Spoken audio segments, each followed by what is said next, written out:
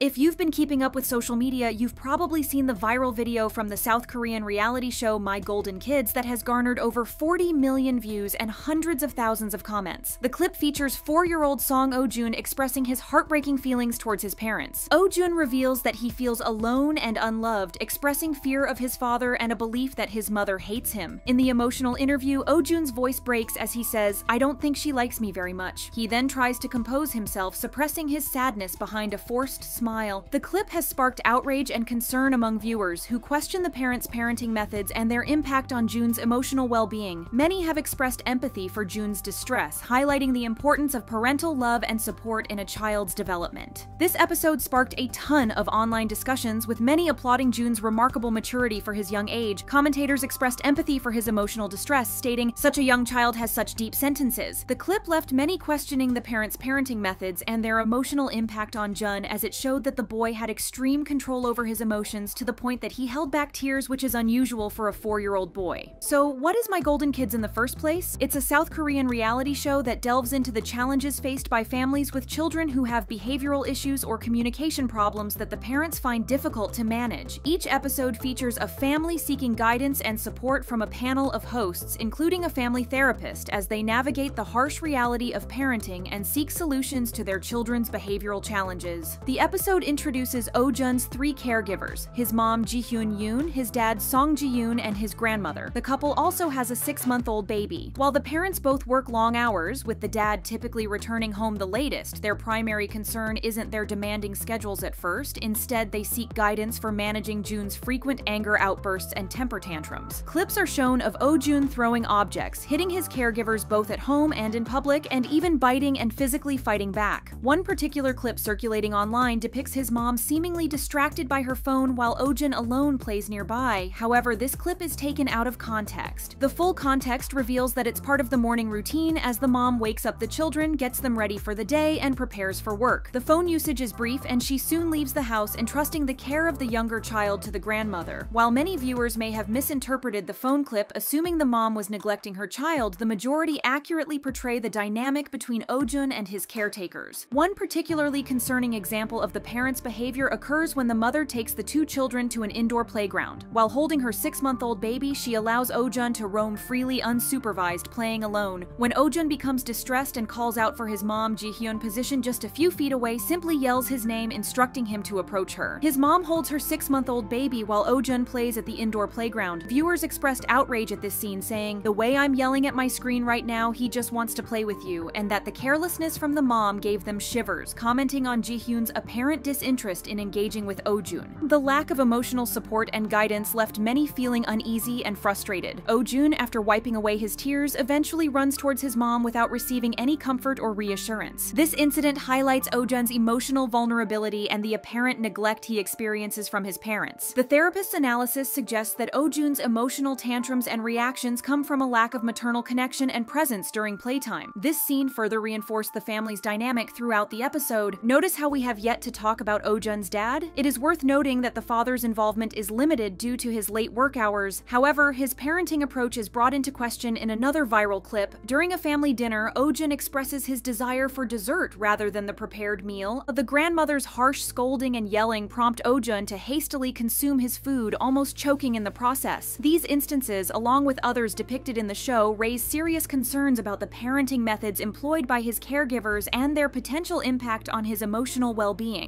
The therapist's guidance and the family's willingness to seek help offer a glimmer of hope for positive change and improved relationships between the whole family. Despite addressing the situation, tensions escalate as the mom resorts to repeatedly smacking Jun with an air-filled balloon while he cries uncontrollably. This shocking scene leaves everyone at the host table stunned and prompts the therapist to offer some much-needed insight. She suggests that his emotional reactions and tantrums could be from the overwhelming presence of multiple caregivers, each yelling at him for his attention attention and issuing conflicting instructions. This chaotic environment could explain June's earlier statement in his interview, hinting at a home where he feels misunderstood and unheard. Hearing this struck the parents and the grandmother, prompting them to cry at the thought of June's unhappiness. During the family discussions, concerns arise regarding the grandmother's well-being. Her advancing age and developing thyroid condition have compromised her physical ability to care for the children until the parents return late at night. Witnessing these revelations, the parents are overcome with guilt as the therapist therapist emphasizes the need to provide more support to the grandmother, acknowledging the limitations that come with age. The first clip that has gained widespread attention features Ojun's interview. With a forced smile, he is asked which parent he enjoys playing with the most. His hesitant response, I don't know, pausing frequently, highlighted his lack of connection with any of his caregivers. Despite having three individuals to choose from, he expresses persistent boredom and a lack of playtime with them. The interview transitions to show snippets of Ojun playing alone. When asked about his father, Ojun describes him as scary when he's mad and wishes he would use a gentler tone when talking to him. This sparked outrage among viewers, as Ojun gives an example with his small voice on how he wishes to be called. Viewers question how a parent could treat a young child with such harshness. The father reacts emotionally to Ojun's words, visibly shaken by his son's perception. Moving on to his mother, Ojun's response is equally heartbreaking. With tears welling up in his eyes, he admits, I don't think she likes me very much. This statement prompts Ojun to compose himself, suppressing his sadness behind a forced smile, asking the cameras to wait a minute. He proceeds to explain that his mother never listens to him and wishes she would engage in more playtime with him. The therapist's assessment is validated as Ojun's emotional reactions clearly stem from a yearning for his mother's presence and attention. Ojun's composure resonated deeply with viewers, who applauded his emotional maturity and ability to regulate his emotions in such a challenging situation. Many expressed concern about the pressure placed on young children to act beyond their years. It is heartbreaking to see a child forced to suppress their emotions and act so grown up. Let him be a child, commented one viewer. Referring back to the episode, the therapist advises the parents. She explains that his behavior stems from a lack of individual attention from his parents. The therapist urges them to foster Ojun's engagement in playtime rather than discouraging it. She cites an instance in the episode where the mother discourages his drawing. Ojun's mother expresses her dislike for drawing and attempts to stop him from the activity. This prompts the mom to bring up Ojun's studying habits, saying, You're not very good at studying. Again, the hosts and the therapist are all shocked by this comment along with viewers. Many people online asked how a mom expects a four-year-old child to study. The therapist blames Ojun's negative perception of his parents and his sense of isolation on his mother's discouragement. She recommends that the parents and grandmother increase their involvement in playtime with Ojun and refrain from projecting their own emotions onto him. Instead, they are told to take a more positive approach even if they are frustrated. This advice encourages his mother to spend more quality time with him, engaging in activities like playing games and doing arts and crafts that align with his interests. June's mom also adopts a more understanding approach, no longer pressuring him to eat at the dinner table and acknowledging his reluctance. Towards the end, the mother and grandmother have a heart-to-heart -heart conversation to check in on June's emotional well-being following the increased playtime. He expresses his happiness, and his mom reaffirms her commitment to spending more quality time with him. In an interview, she admits her previous neglect and promises to prioritize their bond. Oh June, I don't hate you. I apologize for making you feel that way. I will love and play with you more often. The advice from the therapist also gave his grandma more time to relax by making the physical activities and tasks the mother's responsibility. Another improvement that Ojun's family has applied is the act of writing down how they are feeling instead of taking it out on Ojun as he is just a kid and it is normal for him to throw tantrums or act out at times. Though Ojun's story started out looking like three caregivers dealing with a kid who misbehaves without a reason, there seemed to be a deeper problem to solve. We close with a joyful